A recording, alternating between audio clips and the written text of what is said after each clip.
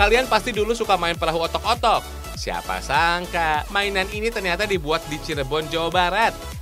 Fems, perahu yang bergerak karena adanya api dari dua meriam kecil, cara berjalannya sama seperti prinsip mesin uap. Setelah air memenuhi ruang pembakaran, api bisa memanaskan air di dalamnya. Saat air mendidih, uap inilah yang membuat perahunya melaju. Suara klotok-klotok yang keluar dari perahu saat dimainkan ini membuat namanya disebut kapal otok-otok. Bunyi ini tercipta karena rebusan air yang menggerakkan dua pipa kecil atau meriamnya tuh. Mainan tradisional ini ternyata dibuat dari seng atau kaleng bekas loh. Sekarang buat pola badan perahu pada seng.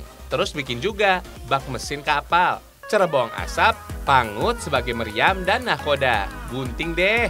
Meski kekuatannya sederhana, butuh 8 pengrajin untuk menghasilkan sebuah peluru.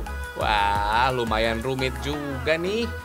Kalau perahu atau kapalnya udah bisa mengeluarkan suara khas, artinya sudah lulus quality control. Tinggal rekatkan seluruh bagian badan perahu dengan patri, timah, dan solder. Untuk menguji bagian yang bocor pada perahu, simpan perahunya di atas air, fans. Sips! Tinggal mewarnai dengan cat besi biar tampilannya semakin menarik. Mantap!